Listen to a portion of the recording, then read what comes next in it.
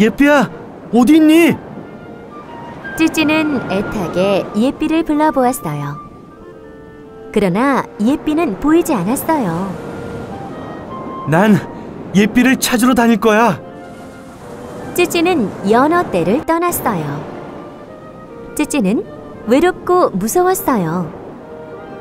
하지만 연어 떼에게 돌아가지는 않았어요. 예삐를 꼭 찾고 싶었으니까요.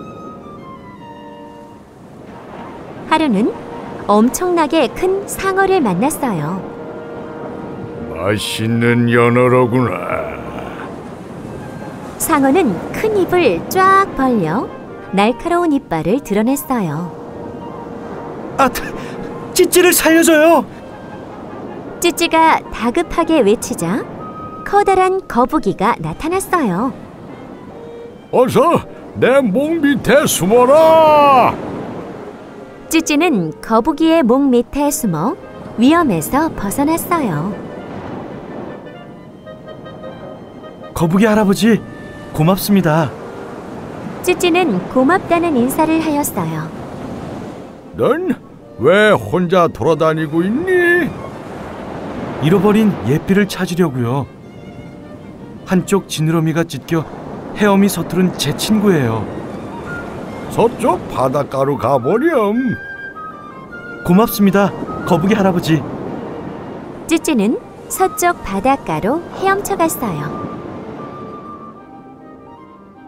바닷가에서 슬픈 울음소리가 들려왔어요. 찌찌가 달려가 보니 예삐가 그물에 걸려 있었어요.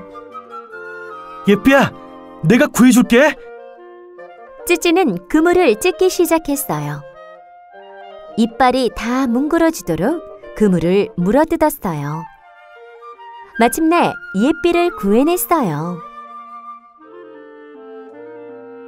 예삐야, 너를 얼마나 찾아다녔는지 알아? 살아있어서 고맙다.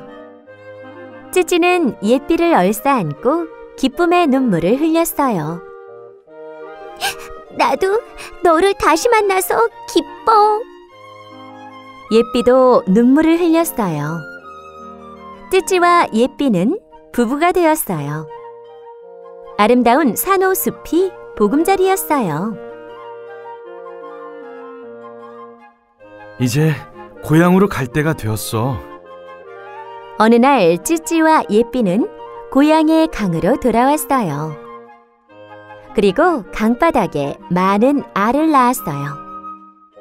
이 알에서 깬 아기 연어들도 찌찌와 예삐처럼 봄이 되면 바다 여행을 떠나겠죠?